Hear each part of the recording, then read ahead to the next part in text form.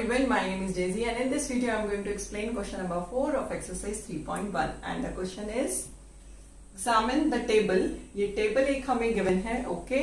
Figure given है जैसे triangle हमें गिवन है ट्राइंगल की कितनी साइड्स होती हैं? थ्री साइड्स तो ट्राइंगल के एंगल्स का सम कितना आया है? 180 डिग्री क्यों? क्योंकि फॉर्मूला क्या होता है हमारा?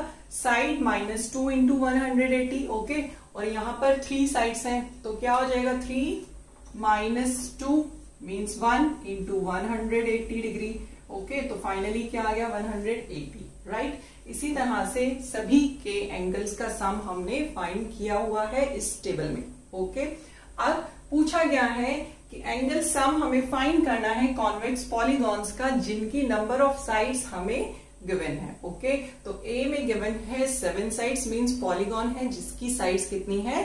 सेवन है ओके और एंगल सम हमें फाइंड करना है तो करते हैं क्या हो जाएगा? देखिए एंगल सम यहाँ पर।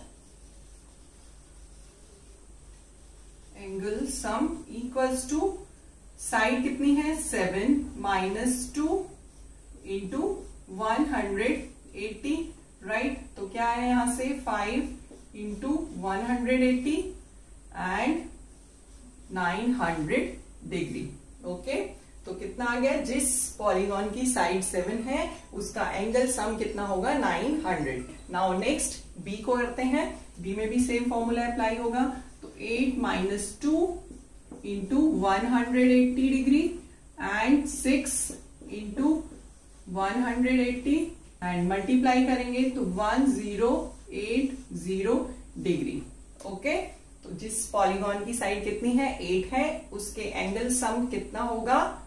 One zero eight zero okay now next and next C कितनी साइड्स गिवन है? टेन साइड्स तो क्या हो जाएगा? Ten minus two into one hundred eighty and eight into one hundred eighty equals to one four four zero degree okay and last N polygon की कितनी sides हैं? N sides तो देखिए, यहाँ पर क्या हो जाएगा?